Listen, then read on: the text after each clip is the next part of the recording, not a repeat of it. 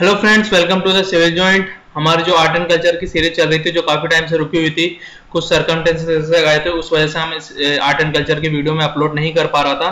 तो इसको कंटिन्यू करते हैं गाइस लास्ट लेक्चर में हमने मुगल्स, जो अर्ली मुगल्स थे, उनका आर्किटेक्चर डिस्कस किया था, जैसे कि बाबर हो गए, हुमायूं हो गए, पर उनके टाइम में ज़्यादा आर्किटेक्चर का डेवलपमेंट नहीं हो पाया, वो ज़्यादा स्टेब्लिश नहीं हो पाए थे इंडिया के अंदर, और उस टाइम पे वो आर्किटेक्चर में ज़्यादा आर्ट एंड आर्किटेक्चर पे ज़्यादा ध्यान नहीं दे पाए। ठीक है गाइज़ तो देखा जाए तो अकबर के टाइम से मुगल आर्किटेक्चर में एक अच्छा डेवलपमेंट देखने को मिलता है और अकबर ने काफ़ी इंटरेस्ट लिया इसको डेवलपमेंट करने के लिए आर्ट एंड आर्किटेक्चर में। ओके गाइज़ तो स्टार्ट करते हैं अकबर से। आप इसकी पीडीएफ हमारी वेबसाइट से डाउनलोड कर सकते हैं। लिंक नीचे है इसका।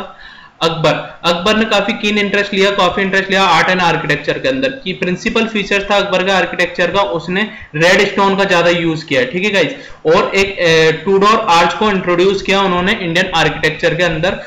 टूडोर आर्च के होते हैं? फोर आर्च सेंटर्ड आर्च होती है और एक डिप्रेस डिप्रेस्ड होती है, ये मतलब लो होती है और वाइड होती है। ठीक है? और इसका जो अपेक्स होता है, वो पॉइंटेड होता है। तो ये देखिए गाइज़ देखो लो है, ठीक है, ज़्यादा हाइट नहीं है इसकी। और वाइड है, ठीक है? चौड़ी है और दबी हुई है, ठीक है? और फोर सेंटर्ड सेंटर्ड है तो वन टू थ्री फोर इधर देखिए, इधर ठीक से देखिए one two three four four centred art arc है और जो आर्च होती है, और पॉइंटेड इसका अपेक्स है, ठीक है गाइस अपेक्स जो है, इसका पॉइंटेड है। तो टूडोर आर्च याद रखिए, किसने इंट्रोड्यूस की? अकबर ने, और रेड स्टोन का ज़्यादा सैंड स्टोन का ज़्यादा यूज़ किया गया। प्रोमिनेंट कंस्ट्रक्शन देखिए, अकबर के टाइम में। अकबर ने आगरा फोर्ट का कंस्ट्रक्शन स्टार्ट किया था अराउंड 1565 में, ठीक है? इनिशियल स्ट्रक्चर अकबर ने कंप्लीट किया पर उसके बाद उसके ग्रांडसन जो थे शाहजहां शाहजहां ने ग्रांडसन को को सॉरी शाहजहां ने जो कि अकबर का ग्रांडसन था उसने जो आगरा फोर्ट था उसका कंस्ट्रक्शन आगे बनाया और उसको कंप्लीट किया। तो उसमें जो आगे जो सॉरी आगरा फोर्ट के अंदर जो कंस्ट्रक्शन ऐड किए गए शाहजहां ने किया मो, मोती मस्जिद ऐड की शाहजहां ने दीवान आम जिसको पब्लिक ऑडियंस हॉल कहा जाता है शाहजहां ने ऐड किए भी।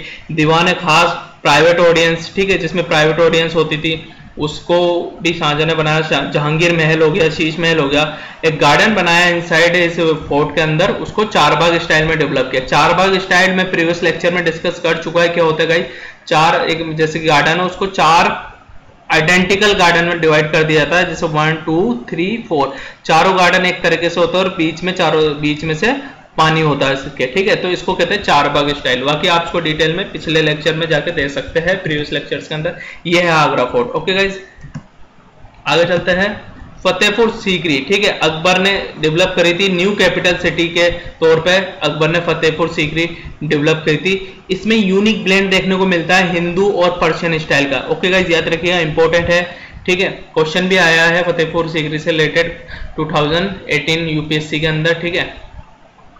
और इसमें रेड स्टोन का ज़्यादा यूज़ किया गया है, फतेहपुर सीकरी के अंदर जो कंस्ट्रक्शन है, ठीक है? इंपॉर्टेंट आर्किटेक्चर इनसाइड है, बुलंद दरवाज़ा, पंचमहल, जोधाबाई पैलेस, सलीम चिश्ती तोम अकबर जो था डिसिपल था, शिष्य था, सलीम चिश्ती का, ठीक है? और इसके अंदर हमें फाइनेस्ट जालीवर देखने को मिलता है, सलीम चिश्ती तोम के अंदर। इबादत खाना अकबर इसके अंदर, जो डिफरेंट रिलीजियस लीडर होते थे, उनसे मीट करता था, उनसे डिस्कस करता था रिलीजियस अफेयर ठीक है? तो अकबर एक सेकुलर लीडर था। ठीक है गाइस सेकुलर लीडर था अकबर, जो इबादत खाना में डिफरेंट रिलीजियस लीडर होते थे, उनको बुला के उनसे रिलीजियस मैटर डिस्कस करता था और उनके बारे में रिलीजियस के बारे में समझता था। गोविंद देव जी टेंपल है जो वृंदावन में, वो 1950 सॉरी 1590 में राजा राम मोहन जो अंबेर के, अंबेर अंबेर का है? जयपुर में, ठीक है? जयपुर, अंबेर के किंग थे, राजा थे।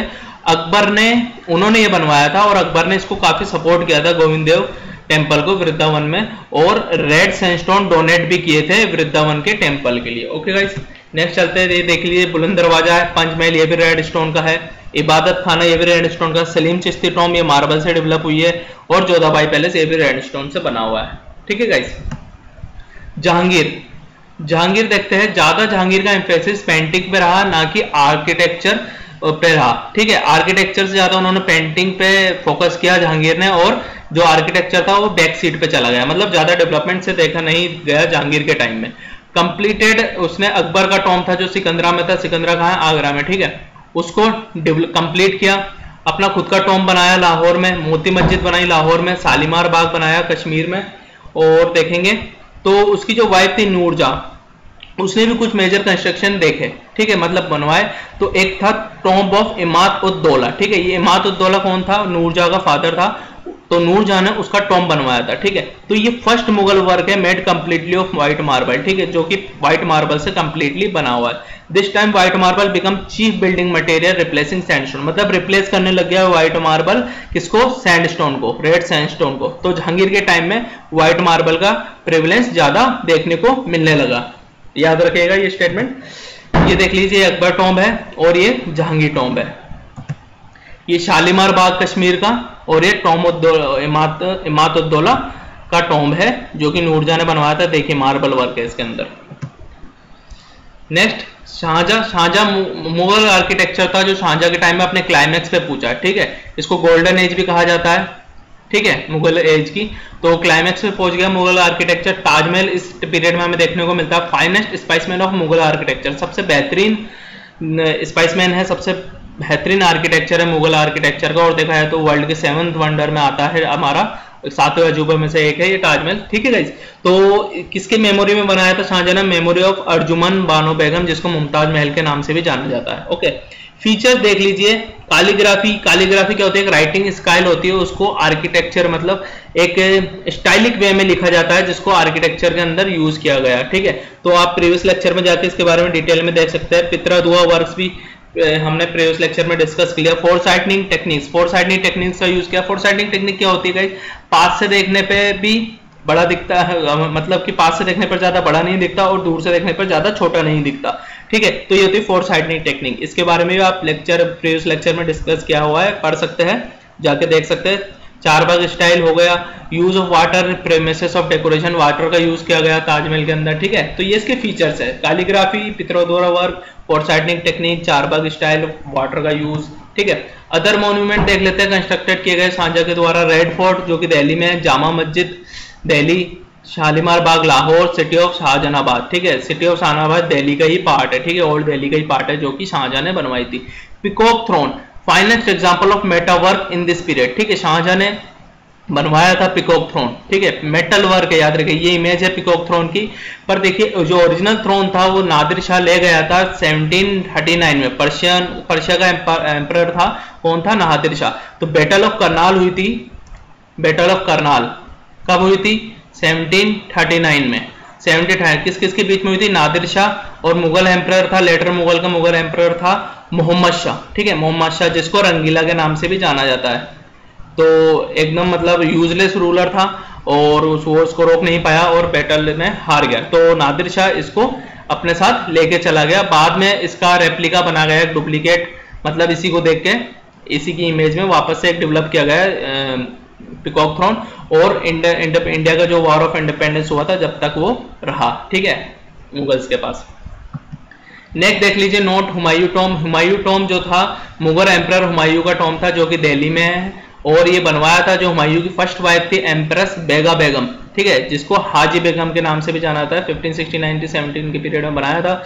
और मिर्ज़ा मिराक मिर्ज़ा ग्याज, ये कौन था? पर्शियन आर्किटेक्चर था, जिसने बेगा बेगम ने इसको, बेगा बेगम ने इसको अपॉइंट किया था बनाने के लिए। ठीक है? तो याद रखिएगा आप। तो हुमायूं टॉम कहाँ है? दिल्ली में है। ज़्यादा ये याद रखने की ज़रूरत नहीं है। आर्किटेक्चर का नाम याद रख लीजिएगा। ठीक है पर्शियन आर्किटेक्चर ये पूछ सकते हैं किसके पीरियड में था। ठीक है, ऐसे क्वेश्चन पूछते हैं यूपीएससी फ़र्स्ट गार्डन टॉम था इंडियन सब कॉन्टिनेंट का, ये याद रखिएगा। गार्डन टॉम था, ये देखिए गार्डन है। गार्डन टॉम था मकबरा, पहला ऐसा मकबरा था इंडियन सब कॉन्टिनेंट का और UNESCO world heritage site declare किया गया है इसको 1993 में। ये एक इंपॉर्टेंट पॉइंट है। ओके गाइस यूनेस्को साइट है हुमायूं टॉम बीपी का मकबरा ये औरंगाबाद महाराष्ट्र में है। औरंगज़ेब के सन आज़म ने बनवाई था अपनी मदर मदर की याद में दिलरस बानू बेगम, जिनको उनकी मृत्यु के बाद रायबिया, राबिया उद दौरानी, ठीक है? सॉरी फॉर प्रोनाउंसिएशन के नाम से जाना जाता था। It bear strike resemblance of Taj Mahal Taj Mahal की तरह कहा जाता है, इसको सेकंड ताजमहल भी कहा जाता है, और इसको डक्कनी ताज ताज ऑफ़ टेक्कन भी कहा जाता है। ठीक है ये देखिए इसकी इमेज है, औरंगाबाद में है, ये महाराष्ट्र के। देखिए गाइज़ इसमें औरंगज़ेब के टाइम में जो था, हम देख सकते हैं मुगल आर्किटेक्चर जो था डिक्लाइन में आया, ठीक है? और जो मुगल एम्पायर था, उसकी जो इकोनॉमी स्ट्रेंथ थी, वो भी कम हुई तो हम इसमें आर्किटेक्चर में देख सकते हैं। जो रेप्लिका बनाया गया ताजमहल को देखिए, कितना शानदार बना था, और जो इसका रेप्लिका बना हुआ, इतना शानदार नहीं है, ठीक है? मटेरियल भी अच्छा यूज़ नहीं किया गया है तो देख सकते हैं तो इकोनॉमिक जो था, वो भी डिग्रेडेशन हो रहा था मुगल एम्पायर का साथ के साथ। Okay guys thank you for watching next lecture में हम इसको कंटिन्यू करेंगे हमारी सीरीज़ को। Share with other to expand knowledge save time save wildlife and protect environment thank you guys thank you so much for watching